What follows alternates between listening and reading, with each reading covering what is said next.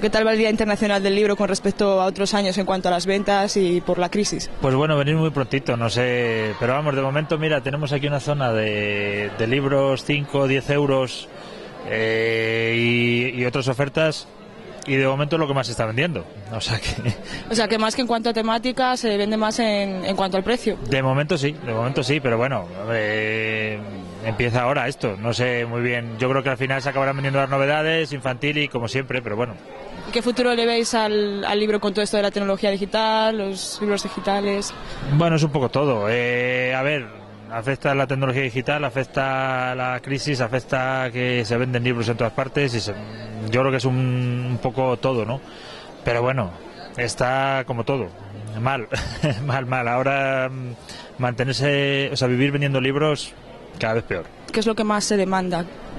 Pues hombre, la eh, novela histórica, este año esperemos que los libros literarios de infantiles también se muevan más, más que otro, otros temas. No sé a ver qué tal este año. Y por último, ¿qué futuro le veis al libro después de que la tecnología digital cada vez está más en auge? Pero espero que el libro no, no, muera en ese sentido. No creo yo que, hombre, afectar afecta pero también está sacando muchas novedades y eso regenera que la gente mire más el libro de papel que el libro, el libro digital. ¿Qué, ¿Qué previsiones tenéis para el día de hoy? ¿Cuánto a ventas? Mm, pues no lo sé. Este año mm, esperemos que sea igual que el del año que viene. De ha pasado, perdona, de ha pasado. Esperemos que sea igual. Menos ha dicho que este año está muy orientada a los niños. Sí, bueno, nosotros no tenemos especialidad en libros infantiles, pero sí, me imagino que moverá como todos los años, poco más o menos, ¿eh?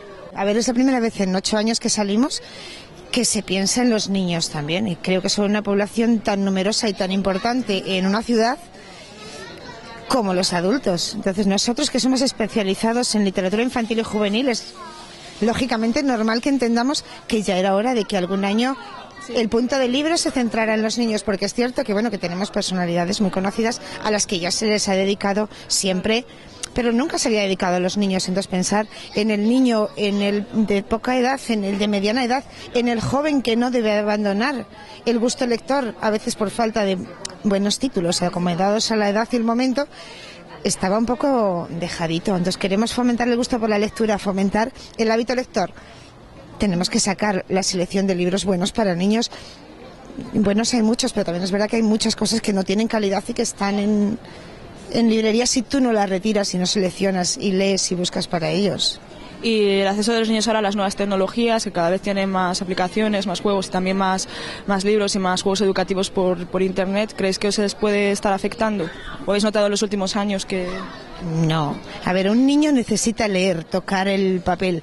Eh, puede aprender a leer de muchas formas, pero la fantasía, la imaginación, la ilustración, eso no se capta si no es con el libro, con el momento del cuento de escucha por la noche. Y luego, claro, una vez que te contagias ya no puedes parar. Si es algo así. Pero sí, no, no le quita, es decir, complementa el tema informático, el tema electrónico, pero un libro electrónico jamás va a sustituir a un álbum ilustrado. Imposible.